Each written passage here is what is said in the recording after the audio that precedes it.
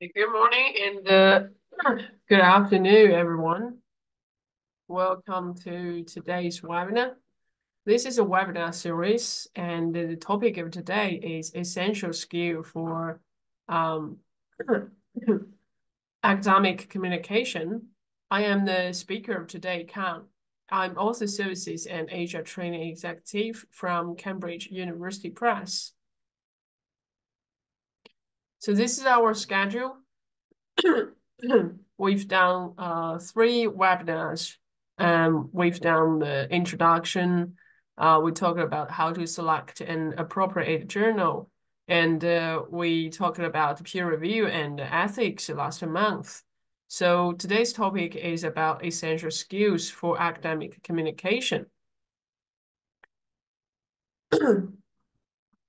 so for you who've already know me, um, this is my introduction. Uh, some of you might join today and might not know me. Uh, I'm working to improve author services in multiple ways and helps authors to achieve their professional goals. I have five years of experience training in consulting in area of OA, and uh, um, I'm focused are focusing on supporting authors to improve their chances at publishing in top-tier journals, um, focusing on Asia. And this is my email address. Uh, if you have any questions after the webinar, feel free to email me. Okay, uh,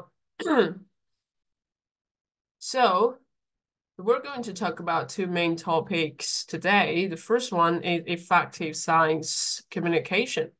And the second one is scientific presentation. and the first, the skill of communication. Um, a new study published today. Uh, okay. A new study published today uh, in Proceeding of National Academy of Science um, from researchers at University of Cambridge and the University of Essex suggests that when it comes to judging scientists, we are more likely to find an attractive scientist interesting, but more likely to consider the less attractive colleagues to be better um, scientists. So we sometimes judge people based on whether they are attractive or not. And researchers also found that people were more interested in learning about work of scientists who were um, physically attractive and who appeared competent and moral. So it seems like very important for us to be attractive or to do an attractive um, presentation or make our communication attractive. So why do we want and this is about like why do we want to um, engage in science communication? Some benefits are listed here. First enable informed decision making. By broadly sharing research results you will ensure that those making decisions on behalf of others have access to the fact and uh, uh, information that need to act objectively. For example based um, based on up-to-date models and statistics, public health officials could be better uh, positioned to devise effective strategies to handle an emerging disease outbreak in cattle, uh, such as whether to uh, cull livestock in certain farming communities, and uh, influence behavior. Um, by broadly sharing your findings, more people can apply what they have um, what they learned from you to um, their own everyday lives. For example, research on plastic biodegradation could encourage people to reduce their plastic consumption um, and increase trust in science. When researchers speak openly about their work, um, uh, this presents a human side to research uh, which in turn helps people trust the information more than if it came from an anonymous source. Increasing trust in science also help reduce the spread of misinformation as we are more likely to share information from source we trust. And the number four, um, generate public support. An effect of increasing increasing trust in science is an increase in public support for research. This in turn can lead to more political um, support for science and eventually more public funding for research. For this reason, uh, many funders ask us, like ask researchers to share their um, research more broadly. And the final one, inspire the next generation. Um, by being visible to public, researchers can inspire others to consider a career in research, being available to answer questions or demonstrate day-to-day -day life as a researcher can make a research career more accessible to students. So that's a benefit um, of engaging in science communication. And how to um, achieve an effective communication. The first one is understand your audience. So the following list here provides some uh, examples of audience you might discuss um, for each audience, we have also um, some examples. Uh, we can talk about the examples. For example, the first one, if the audience are researchers in your field, the situation could be giving a talk at conference. If that's your um, friends and family, um, it could be catching up with them and sharing what you uh, work on in that case, you might use different languages, different words to describe what you are doing. And if that's journalist, it could be um, giving a media interview about your research. If that's uh, prospective new students, um, you, you might want to handle a wet lab teaching session at a local high school. Um, if that's for um, charity and funders, um, it could be interviewing with a charity board and to request fundings for latest project. If that's patients and uh, clinicians, um, well, it could be answering all my questions about the latest results from an ongoing clinical trial. If that's um, like researchers in a different field, um, it could be you to chat to friends or um, in your institution. So different situations uh, you are facing to different audience and different audience, they have different needs. So when you understand your audience and then you try to, you need to identify your audience, your audience might already be defined by the goal you set or you might need to think about best audience you need to reach to achieve your goals. Um, we also, uh, we already have some goals. For example, we want to present to the school. We want to um, attract new students. We uh, want to show our um, results. Depending on our goal, um, we and then we to identify the audience or reach out to the audience. So your audience um, is clearly specified in your communication goal. Uh, for example, if your goal is to find new prospective students for your department, your audience will be high school students, and your presentation will, um, you might want use not that technical words, and uh, you need to decide which audience will help you to achieve your goals. Um, for example, if your goal is to encourage people to take action based on research findings, you should consider which audience would be um, the best to um, be able to use your communication. In that case, you might consider like policymaker, uh, community groups, or local media. And your audience is dictated by your method of communication. For example, if uh, you might be invited to speak somewhere or do an interview for a magazine, um, in that case, um, there is usually a predefined audience in place, such as the audience of the event um, or the readers of the magazine. And if you um and you have multiple audience, for example, if your goal is to tell people about your latest research, you might need to share your message multiple times to different audience. Each time you prepare to communicate to a new audience, you should learn a little bit about them. So that's identify your audience. And after you've done that, um, you want to reach, reach your audience. Science communication takes many different forms, um, as there are multiple ways to reach your audience. Sometimes you will want to reach many people at once with an article um, in a journal or in a magazine or um, on the website or through an interview on the radio or TV or podcast. Maybe you know exactly where to find your audience online and you can use social media channels to reach them. Or perhaps the best way for you to achieve your goal is by meeting your audience in person to get a talk, um, to demonstrate your work, or um, to hold a question and answer session. Um, there are different ways to reach your audience, and uh, what works for one type um, of the communication goal isn't necessarily right for another. So the first one could be uh, writing. Um, there are four different uh, types, ways of writing, presenting, uh, using social media or being interviewed. So for the writing, you can write about your research in a publication um, on the website, in a blog, or for a newsletter targeted to a specific audience.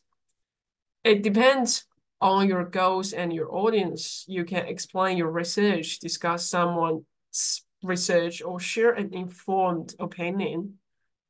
Um, and the second, presenting, you can present in person or through a video connection um, online or even uh, pre record uh, pre-record a presentation and post it online to share it more widely. That's what we do um, sometimes. You can see lots of videos on uh, Cambridge Author Hub. Um, it's like um, a finished presentation or, or a finished video um, has been put online. And presenting isn't limited to give talks. You can demonstrate experiments, show equipment, and interact directly with your audience. And for example, um, like speaking about your research at the science festival, that's um, a, a kind of one form of presenting. And number three, the social media. If your audience is on social media, you can directly interact with them and share what you are working on. Um, you can also answer their questions and find out what they want to know more about. For example, um, you can see the discussion group on Facebook or on the ResearchGate. Um, and some researchers even post their new articles on LinkedIn um, like this. And uh, the num number four, being interviewed you might be interviewed by a journalist who's writing an article or by a presenter of TV or radio program or podcast. Because you are the scientist, you are um, the researcher. You might also be interviewed by your institute's press office. And there are also other ways to reach out audience outside of science. Um, for example, you can consult on a communicate project um, have conversation with friends and family, or collaborate with artists on a science-themed performance or exhibition. Um, often these projects still involve writing and speaking about science in some way. Um, and uh, you need to correctly match audience goals and your methods. Um, For example, if you want to highlight your latest research to researchers in other field, you can write a blog post for a relevant scientific organization. So reach your audience, the point is correctly match audience goals and methods. So this is like a very general um, some skills and tips for uh, how to effectively communicate with your audience. And then let's have a look at uh, the second part, um, giving an effective presentation. So um, although presenting is a frequent task for most of, us, many of us only receive minimal training in presenting and are instead uh, expect to pick up the skills as we go along. The problem is that uh, presenting research is very different from doing research. So it's not surprising that many of us can struggle with the task. So good presenting um, skills or good presentations advance our career. Most of us most of us at some point have found ourselves listening to a rather unengaging talk while it felt as um, though the presenter had just assembled some pretty exciting, uh, pre, um, pre-existing slides or um, decided to run through a list of experiments without any clear purpose. So great presentations can markedly drive your research career, improve your reputation within the scientific community, and help advance your research. By contrast, giving um, mediocre talks might mean missing out on opportunities. And this um, difference applies to researchers at all career stage. So here are some uh, advances uh, I've listed here. So we've talked about um, good presentation advance our career. Then what makes a good talk? So at first glance, the quality that make an make a scientific talk great are hard to pin down. Um, similar to those relating to um, music or painting or other human activities.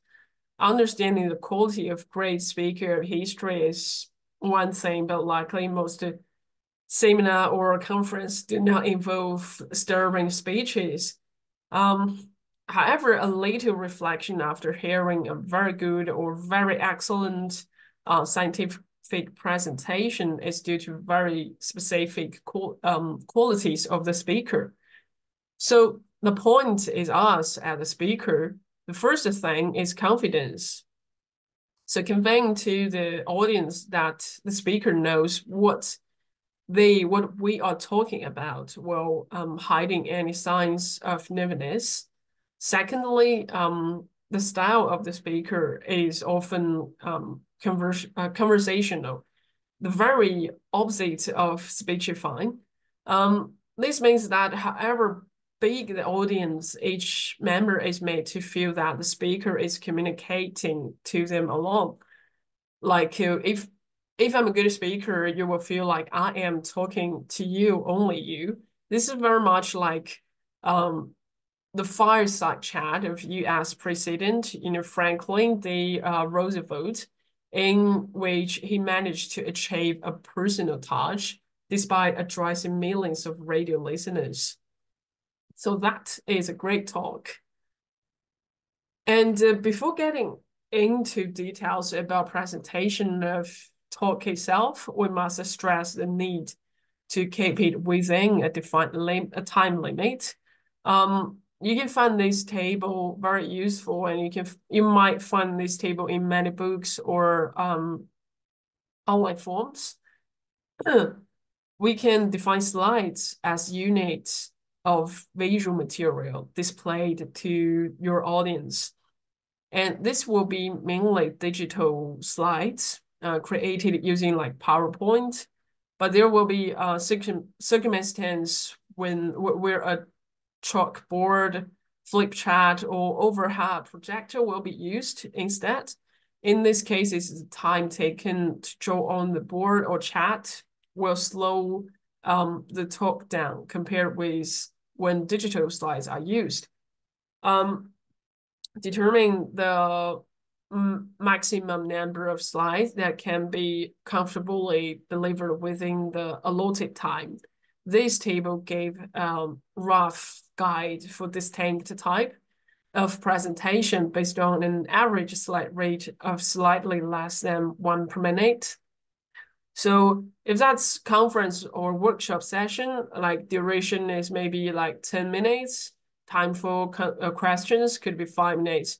Then the suggested working number of slides is seven to uh, seven to nine. So each slide you might spend like one minute, around one minute. You got 10 minutes for duration of uh, five minutes for dura duration, uh, five minutes for the questions. and the, um, the figure that does not um, have to be adhered to exactly. Some slides can be lingered over for most of the talk. So the actual number used might be very slow. Um, alternatively, filter slides may be used to break the talk into logical section and uh, may last for much less than a minute. So the final number may um, even exceed uh, the, the maximum quoted. So the thing is, you you can calculate based on your slides, but I personally think you could rehearsal before your talk, and then you know how many how much time you might need um, for the whole presentation. So this is a time, and this is very important. And how to plan our talks. Um, first, turning your material into a story. So a dry recitation of facts does not make a good talk. Science, uh, since science deal with facts, there is a real danger that presenter will fall into this trap. Um, it also occurs in areas outside uh, science, including tourism. Um, I think some of some of us have been bored by a poorly trained guide who just lists the dates and places without any contacts or human interest. And you're gonna feel like really boring, um, go with that tour guide. And this is why crafting talk into a story is of fundamental importance. We don't expect we could talk um, like a fiction, but the story format could convey the key message in a way that human beings can absorb. If we do not think in that way from the outset, the resulting talk can be um, formulaic and boring. And there's a way to enhance a presentation, um, which is to draw upon relevant historical allusions or a site that might um, help you to put your work in context or just provide a bit of general interest to try to attract normal people. And the second, the elevator page. Um, could you identify the essential meaning of your work and convey it uh, uh, succinct um, in the time it takes for an like for three minutes? We call that for an elevator to travel a few floors. Um, this is an elevator page page that is now so um, prevalent in management training and the related activities. Um, if regardless of how the term oring, uh, originated, and there are several accounts online, the concept is very useful, particularly particularly so for uh, planning a longer formal presentation as far as I know, some universities ask their PhD students to do the three minutes presentation about their thesis. That's a quite similar uh, practice. And acknowledgement in the collaborative world of scientific research, it's very rare uh, for a speaker to have nobody to acknowledge. So colleagues um, should be thanked during the talk um, this seems to occur most commonly at the end after the conclusion side. Um, how, and, but, but also you can, um, you, you can try um, placing acknowledgement at the beginning of the talk. It's also okay. And number four, handling multiple themes. Um, a short conference conference presentation is not um, long enough to cover more than one thing. So the path for questions to conclusion is a liner and a continuous one. A longer seminar or um, keynote speech um, is a different matter.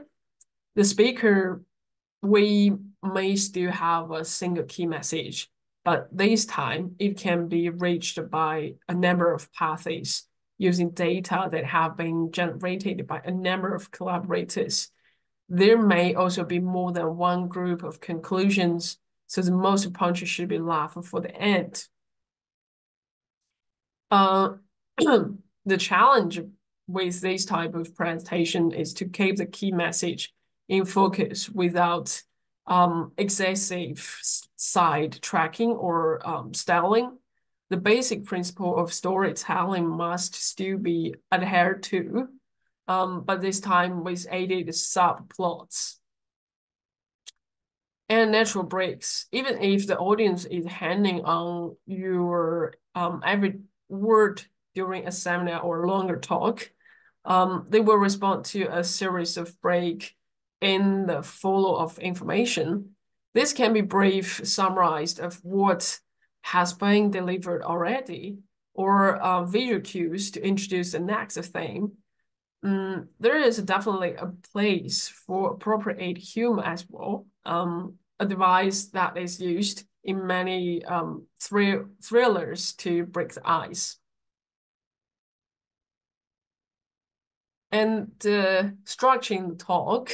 So this is also part of planning the talk. The basic structure of the talk needs um, boundaries so that you can guide the audience in whatever direction you want.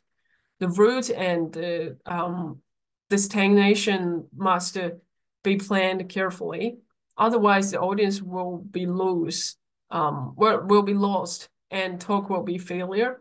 Once you have defined um, the limits of the talk and uh, articulate the key message, next step, uh, next stage involves establishing a logical sequence.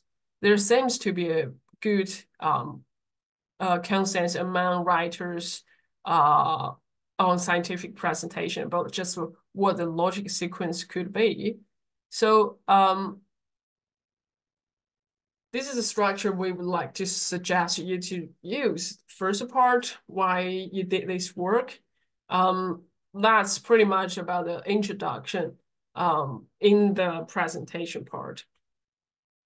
And the second, how you did it um, equals to the methods and what you found um, results and what you think it means, summary and uh, conclusion. So um, the figure on the left, the, rel the relative uh, proportion of the talk uh, that should be devoted to each of the section is summarized in the figure. So this is planning uh, the talk. And we talk about the narrative structure. So the narrative structure provides uh, a scaffold in which you can insert your findings to arrange them in logical sequence.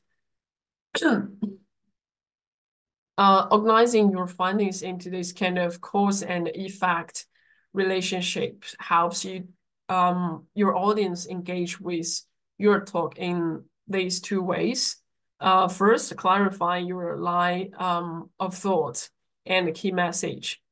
Story structure um, help your audience to follow the line of thought that can lead you to your key message. If you don't create a logical link, your audience might draw their um, own conclusion from your data. Ideally, these conclusions uh, would match yours um, or add a new interesting angle that you haven't considered yet. But in reality, however, it is possible that your audience misinterprets your results, given that they probably haven't thought about them for as long as you have and might not have looked at all information you considered. And the second, building and maintain tension. Story structure also help you to build and maintain tension during your pre during your presentation. Um, compelling stories uh, constantly rise and uh, answer questions in the audience mind, leaving them to wonder, and then what? Uh, until you reach your conclusion at the end. Um, that's a two thing. use a narrative structure. And when you've done um, the thoughts, when you uh, know your audience, identify them, and choose a way when you present, you plan the talk. Oh, you've done everything. And the next step is set up your slide, uh, slide deck. So choose your presentation software. Normally we use present, uh, we use uh, PowerPoint, and I am using PowerPoint um, too. It's part of the Microsoft Office uh, program. And someone might use Keynote too. Keynote is Apple's native presentation software. Um, and some of us might use Google Slides. And Google Slides is a browser-based app that is freely available within Google. So it doesn't matter which platform, which software you're gonna use. Um, the next step is to choose a suitable template. So for example, we working for Cambridge, we have official um, kind of template to use. So we don't have to choose template. If your university or your institution has your um, branding, your official um, slides template, you can just use that. If your students and your um, school doesn't have that, just use um, based on your audience, based on the situation, choose a suitable one um, to use. Uh, and then setting up your slide deck, uh, make it a logically story. And the next slide is some resources. Um, I've put the PowerPoint tutorial, Keynote, Google Slides links here. And also, um, because I referenced the book published by Cambridge, the presentation skill for science scientists, um, a practical guide, and this is a link. Um, if you are, I think most of you are customers for Cambridge and your university must have purchased the, the book. You can just your use the institutional login try and to log to log into the website, the Cambridge core, and then you can get that book freely online. And this is a conference checklist, uh, also from that book. Um, the following checklist contains key points for a last minute check over. Um, I think this is quite useful for you if you're going to go to the conference. I think after COVID, we we we, we might need to go to lots of conference on site, and this could be really useful for you. Um, and thank you for coming to today's webinar. Um, this is the end. If you have any questions, please feel free to uh, type your question to the Q&A box.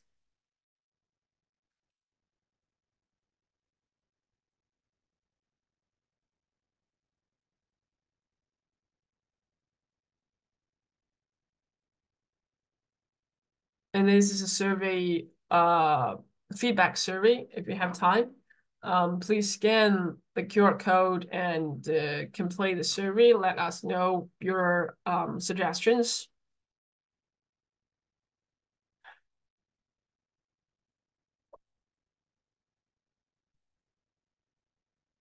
Yeah. Thank you very much. And this is our schedule for uh,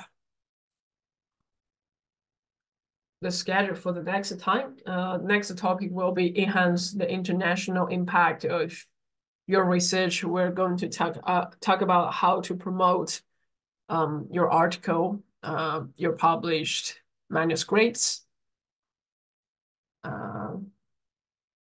What are some of the big difference in academic presentation, business presentation, PhD first year coming straightforward? Well, the academic presentation is more like um you're you're going to talk about research topics, your field, your experimental, everything about your um, research. But a business presentation is more about like you are part of the business process or you're part about uh you're part about uh, about about the increasing or increased process. So we're talking about that. Uh, the focus might not be on your research or your experiment, but on the benefit of your research. And what kind of benefits could you to bring to um, this business uh, model? That's the main point, main difference. Please show the QR code again. Oh, QR code here.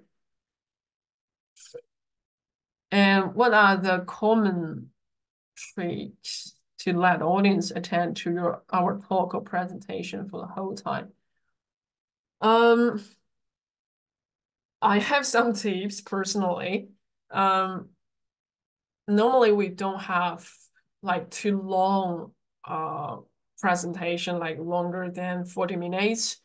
Normally we would suggest people to have 20 minutes to 30 minutes I think even 15 minutes is the best, 20 minutes is the best. So people can concentrate on things. Doesn't matter what kind of things, people can concentrate on that in the first 10 minutes. And then we kind of start to um like our brain is kind kind of hiding out and it's not here and start to think about things, can't really concentrate. So for the speaker, you need to um, adjust that atmosphere. Like we are talking about key things. Um, you just emphasizes tones. That's the first thing. And uh, you don't want to put things that audience need to think together to separate them. Uh, for example, at the first three minutes it's a really introduction. Um, it's really like background, and people gradually uh, feeling like they are get getting there, and then you start to talk about something important, and then the break deck, the break slide, you give people some time to have a small break. You're talking about that, but that's not important, and people can kind of rest. Their brain can have a rest, and then you start to talk about main things um, and people can start to think again. And also, like what we talked in the slides, you sometimes could talk about some humor things, some uh, general things with human interest. Um, some examples can also make people to concentrate from the beginning to the end. And also the storytelling method. If you're talking about things like uh, you're talking about story, um, people might not want to leave they want to listen to the results. Like everyone's like this. We want to know the results. We know the method you've done. We know everything, and we just want to know the results. And then they're gonna leave. They're gonna stay to the end. Excuse me. Do you have any software or website to do brainstorming for your talk or seminar? Um, no, I don't. um, I already hand drafting. I already write by hand, handwriting or hand drawing.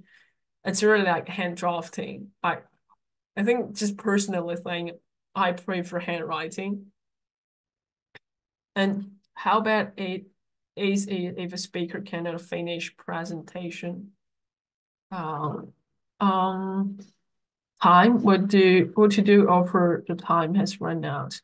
So it depends on what kind of uh situation. If that's some like casual presentation, you might still have time to finish that.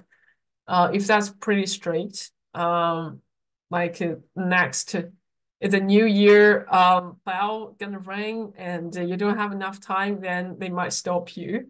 So um, and also a really long um, presentation, won't attract people. So the three minutes train three three minutes presentation training um, is trying to let us to practice um, to express our core idea uh, with some support with logical um, thoughts in a really short time. Uh, time is just a trick. Three minutes introduction uh, at glance, then to main things with human interest. Make result as story, adjusting atmosphere. Yeah, yes, that's right. Dependent on yes, kind of personal uh, experience. Yeah, about the time, it's it, it really depends on the situation. If that's just Carol, I think that's fine. But I think mostly when we are going to the conference, the time could be really strict because the arrangement is like really tight. The schedule is tight. So we'd better finish our presentation on time. Um, how can academic communication strategy be effectively uh, tailored to accommodate various audience with different levels of ex oh wow um. What's a good question by uh Giovanni well yeah it's it, it's it's difficult if your audience are diverse, uh, very fine levels of experiment and knowledge in a specific field. Yeah, it's it's like you you put um undergraduate students, PhD students, and also some really experienced audience there. And in that case, you might start to think which part of audience is your main audience. You cannot um, use a single presentation to satisfy all different groups. It's pretty difficult.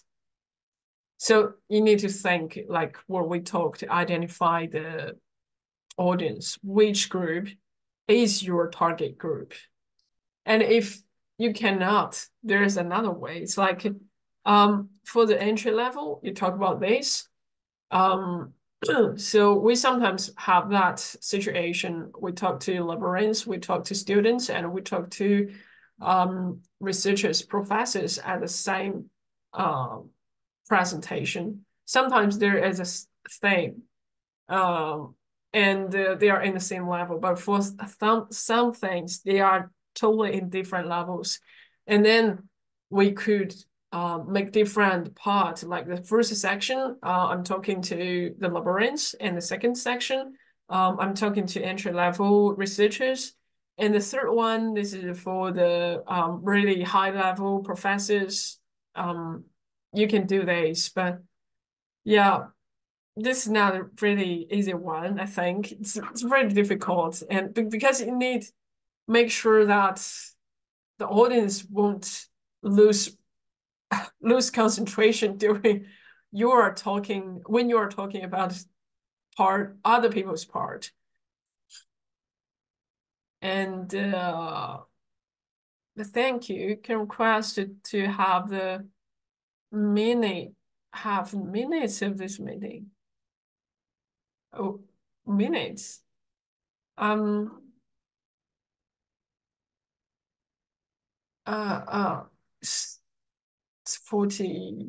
So my preparation for this webinar um, of this meeting, do you mean the webinar? I'm sorry. Um, summary, please. Thank you.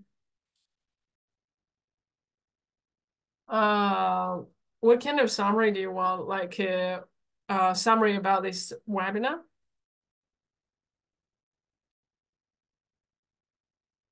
And do too much. Yeah. Okay. So uh, we've talked about two main things. Um, the first is about the like general thing about effective science communication. Uh, we talk about uh, uh, the benefits of engaging in science communication because not every researcher want to share um, their results, their um, research.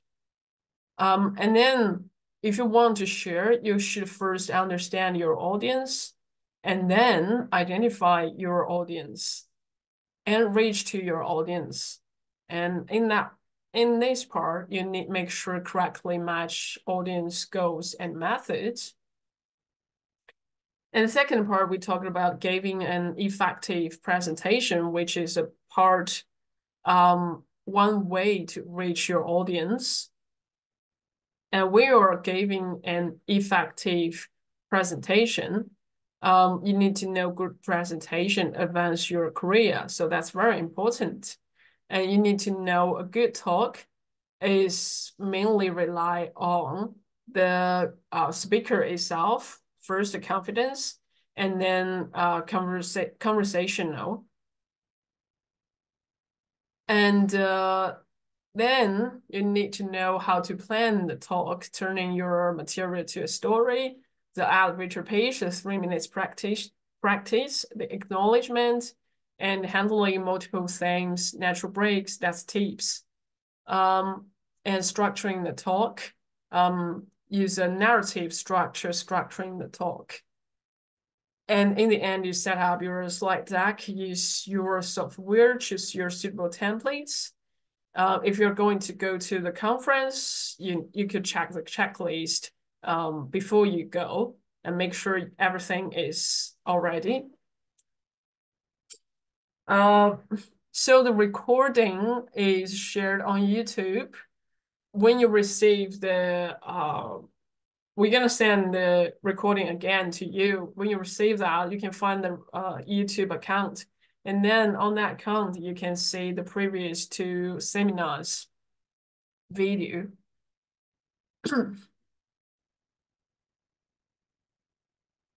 um, thank you very much. So um,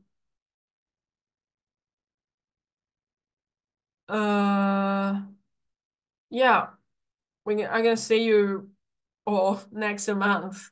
Uh, so the next month is uh, enhance the international impact of your research, and we will share the PDF, uh, the video to you, and uh, just to wait for our emails. Thank you very much, and uh, have a good day.